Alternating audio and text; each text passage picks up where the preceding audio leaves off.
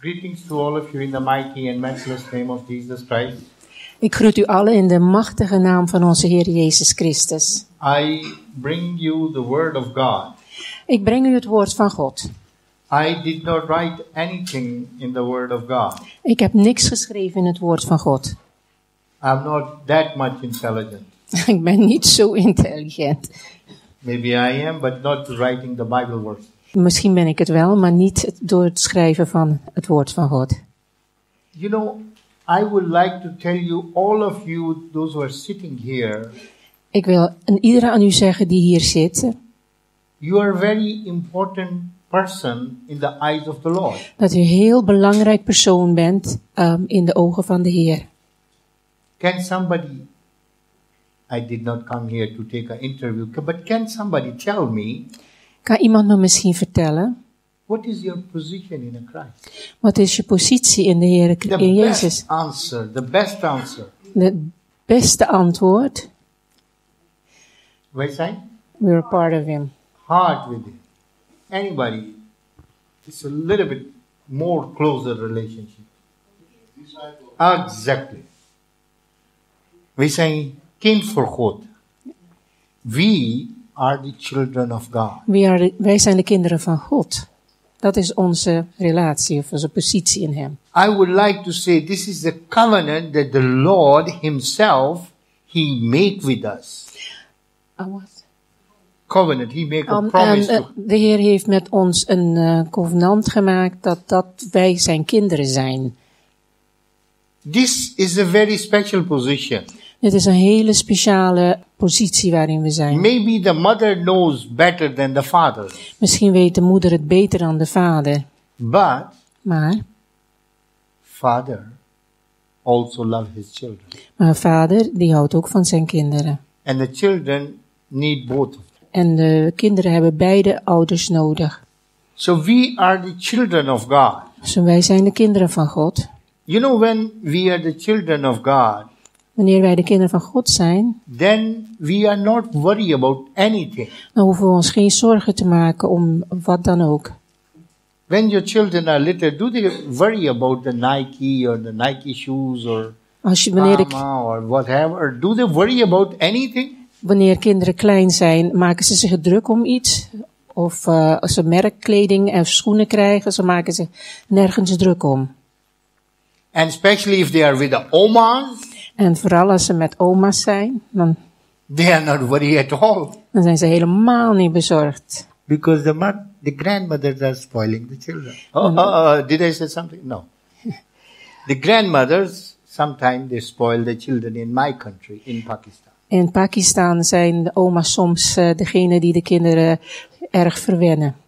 They give them an extra if they have a money. If they don't have a money, they give them a lot of hugs. Ze geven ze, als ze geld hebben, geven ze ze wat extra geld. En als ze dat niet hebben, krijgen ze extra liefde. Who was having a birthday today? I sing a song, but uh, I don't know who Laura. was having a. Who is Laura? Oh. May you have many more. May you have many more. May you have many more, dear. Happy birthday to you. It's my prayer that God will give you a long life. You understood. And Laura, we all, even without the birthday, we have a long life. En zonder eh, een verjaardag hier op aarde hebben we een lang leven. Those who are the children of God, they will live long. Die kinderen van God, die zullen lang leven. Because this is the promise of God, this is the promise of Jesus, this is the promise of Holy Spirit. Dit is het, be- de belofte van God de Vader, God de Zoon en God de Heilige Geest. That you will live forever. Dat we voor eeuwig zullen leven. Let's read from John, 1 John, chapter 4, verse 7 and 8. 1 Johannes, hoofdstuk 4, vers 7 en 8. Can somebody read for me or you have an English Bible? John have an English Bible. You have an English Bible? You Oh. want, you want to, No, no, no. Okay. So I have Eh, to read. yeah. You, you don't, don't you want to read it in Dutch? No. Oh, you can read in Dutch, I understand, yes. So you, Dan laten wij elkander lief hebben, want de liefde is uit God. En een ieder die lief heeft, is uit God geboren en kent God. Wie niet lief heeft, kent God niet, want God is liefde. who has given his life to Jesus, he is born from the Lord. He's born from God. He's born from Jesus. Degene die zijn leven aan, God, aan Jezus heeft gegeven, die is geboren uit God. So you are children of God. Zo, wij zijn kinderen van God. Amen? There are not so many amens. I'm not an American, those who always say amen, amen, say amen, say after me amen, amen. Ik ben But when this is something very beautiful, say amen. Maar als er, eh, ik ben niet als de Amerikaan, veel Amerikaanse prediker die overal amen om amen zegt, zeg met mij amen. Maar als het iets moois is om eh, amen op te zeggen, moeten we het ook vanuit ons hart doen. Een welgemeend amen. And I think she's American. Are you American? Ah, not American. No? No, my brother is American. Your brother is American. okay. So you are a Dutch. I'm a Dutch citizen, yes. She looked like my sister. we are all brothers and sisters in the blood of Christ. We zijn allemaal broeders en zusters door het bloed van Christus. One more verse. Uh, it's not my style to reading uh, many, many verses from the Bible, but today I like to do that to make, when you go from here, you will think that you are somebody, the Word of God talk to you. Mijn preken zijn meestal niet zo dat ik heel veel teksten uit de Bijbel eh, voorlees, maar nu wil ik het wel doen om eh, datgene wat ik u wil vertellen, dat we een kind van God, dat een kind van God zijn, dat wanneer u hier weggaat, u de teksten hebt gelezen en ook er wat mee door opgebouwd kunt worden. We will read from John chapter 3, 1 1 John, 1 John chapter 3 and verse 1. 1 Johannes 3 en eerste vers. Ziet welke een liefde ons de Vader heeft gegeven, dat wij kinderen Gods genoemd worden. En wij zijn het ook. Daarom kent de wereld ons niet. Omdat zij hem niet kent. So you know, we are the children of God. Wij zijn Gods kinderen. So we need to come into the victorious mode. Maar moet daarom, omdat wij kinderen van God zijn, moeten we in de overwinningsmode komen. From the worrying mode, we need to come to the victorious mode. Want het, eh, het zorgelijke, het, het ons zorgen maken over alles, moeten we in die mode komen van overwinning. Jesus was always winning. He never lose anything, never lose. And Jezus was altijd in de overwinning, die was nooit in de verliezersmode. And he said that those who give me their heart, they are belongs to me, and the devil cannot snatch them from my hand, because I am more powerful than the devil. Jezus heeft gezegd dat degenen die hun hart aan mij hebben gegeven, die horen mij toe. En die hebben de overwinning door mij, want Satan kan ze niet uit mijn handen rukken. So remember, by going out from here, the devil cannot do anything to you. Wanneer u weer naar huis gaat, onthoud, de duivel heeft geen macht over u. Sickness cannot do anything to you. Ziek zijn kan niks, eh, u niks aandoen. Maybe it is a one time a way to going to heaven. Misschien is het gewoon de weg u moet volgen wanneer, als, en wanneer u ziek zou zijn naar de hemel toe. My very dear uncle, he died um, last week. Een hele dierbare oom van mij is verleden week overleden. But we all know that he's gone to heaven. Wij weten allemaal dat hij naar de hemel is. He was a pastor from the very young age and he was about 70 years old when he died. Hij was van jonge leeftijd af was hij een eh, voorganger en hij is op 70-jarige leeftijd overleden. More than 50 years he was serving the Lord. Meer dan 50 jaar heeft u de Heer gediend. We will never die. Wij gaan nooit, wij sterven nooit. We are the children of God. Wij zijn Gods kinderen. And God is taking care of us no matter whatever. But He is taking care of us. God die zorgt voor ons. Wat er ook gebeurt, God zorgt voor ons. The Bible says, as the father, he hold his child in his hand, so the Lord is holding his children in his hand. De Bijbel zegt, zoals een vader zijn kinderen in zijn armen houdt, zo houdt God de Vader ons zijn kinderen in zijn armen. And his ha- hands are mightily powerful. En zijn handen zijn machtig. Amen. So you are children of God. I am a children, I am a child of God. En we zijn allen kinderen van God. John chapter, I think you have the verse. Yeah? Yeah. Dat zegt, hierin is de liefde Gods jegens ons geopenbaard, dat God zijn enig geboren zoon gezonden heeft in de wereld, opdat wij zouden leven door hem. Hierin is, die lief, is de liefde, niet dat wij God lief gehad hebben, maar dat hij ons heeft lief gehad en zijn zoon gezonden heeft als een verzoening voor onze zonde. Geliefden, indien God ons zo heeft lief gehad, behoren wij ook elkander lief te hebben. God so loved the world that he gave his begotten son for us. God, als, al zo lief heeft God de wereld gehad, dat hij zijn enige geboren zoon aan ons heeft gegeven. And the Bible says in, in the book of Isaiah, De Bijbel zegt in het boek Jesaja, chapter 9, verse 6, it says that the son is given to us. de, in eh, hoofdstuk 9, vers 11, 6. 6, staat de zoon is ons gegeven And his name shall be called a wonderful. En zijn naam is wonderbaar. So I will keep saying that you are in the hands of a wonderful God. Ik blijf het zeggen, we zijn in de handen van een machtige, wonderbare God. If you touch the sick people, Als hij de zieken aanraakt, they receive the healing. worden ze genezen. If you touch the bread of five loaves, loaves then five more than five thousand they was fed. Wanneer hij het brood aanraakt, vijf eh, broden aanraakt, worden er vijfduizend mensen mee gevoed. And if you touch the daughter of Jair, she got a new life. The dead person have a life. Ja.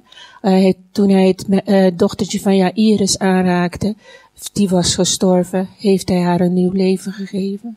This is our God, Dat is onze God. And we are His children. En wij zijn zijn kinderen. And I will keep saying that we are His children till I wish to stop it. En wij, ik zal het blijven zeggen tot het eind van de dienst dat oh, wij zijn Gods kinderen. Never forget.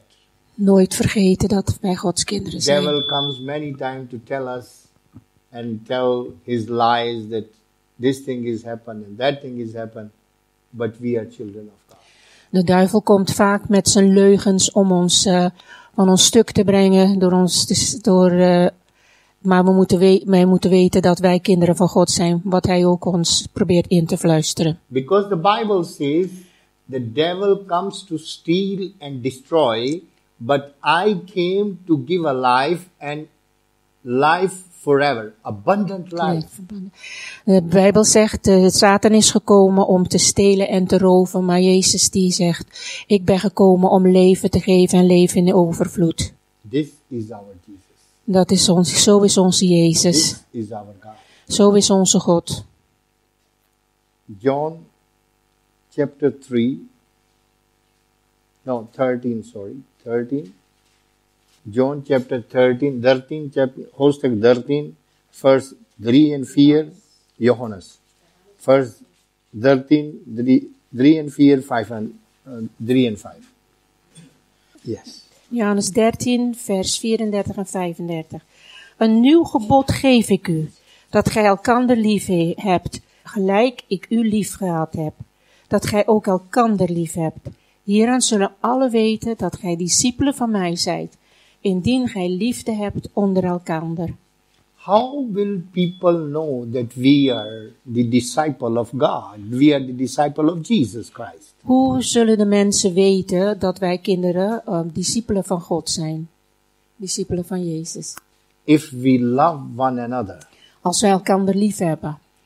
In the song there was a beautiful song, Leave the, with each other, and then we were holding a hand for each other, just to impression of a love of Jesus Christ. En we hebben het lied gezongen van uh, ik heb u lief met de liefde van de Heer en toen hield, we hielden we elkaars handen vast en dat is een mooie uitdrukking van onze liefde naar elkaar toe. And the Bible says that uh, love your enemy. De Bijbel zegt heb uw vijanden lief. That's a very difficult job, love your enemy. Het is een hele moeilijke, moeilijk iets om je van je vijanden hun lief te hebben, om je vijanden lief te hebben. But he is talking to his own children. Maar hij spreekt, Jezus spreekt tot zijn eigen kinderen. He is speaking to his own sheep. Hij spreekt tot zijn eigen schapen. And I do believe with all my heart that you are the sheep of Jesus Christ. En ik geloof met mijn hele hart dat u tot de kudde van Jezus behoort. And Jesus said that my sheep, they will hear my voice. En Jezus zegt tegen, uh, zegt, mijn schapen zullen mijn stem verstaan. But where he's saying that uh, love your enemy, there also he said, bless your enemy. En uh, hij zegt ook, u moet uw vijanden lief hebben, maar ook u moet ze zegenen. Now this is another difficult thing. Dit is ook alweer iets moeilijks. But he said, if you don't obey my command, then you are not my disciple. Jezus zegt, als je mijn geboden niet bewaart, dan ben je, kan je mijn discipel niet zijn. We have a love covenant with Jesus Christ. Wij hebben een, uh, over, een liefdesovereenkomst met de Heer Jezus Christus. Paul said that nothing can separate me from the love of God. Paulus zei, niets kan mij scheiden van de liefde van God. But blessing somebody to bless somebody, it does not mean that you have to give of somebody a thousand euro. A what? A thousand Oh, euro. oh ja, oké. Sorry. um, door iemand te zegenen wil nog niet zeggen dat je iemand duizend euro uh, moet geven. You can give up just a one sandwich. Je kan de persoon misschien gewoon een boterham geven. What, what you have. Je mag geven wat je hebt. You cannot give somebody what you don't have. Je kan niet iets geven wat je zelf niet hebt. Bless somebody. Maar zegen iemand. This is Dit is wat Jezus ons opdraagt te He doen. said, if you want to be my disciple, do as I said you to do. Als je mijn, Jezus zegt, als je mijn discipel wil zijn, doe wat ik u opdraag. Do that. We moeten dat doen. The Bible is talking that God so loved us, He gave begotten Son.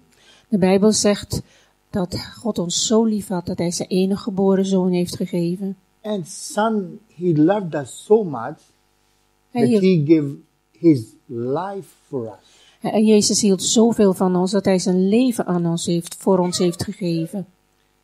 He, he loved those who beaten Him, Hij hield van degenen die hem sloegen, those who slap on His face. degenen die hem in zijn gezicht sl- uh, sloegen.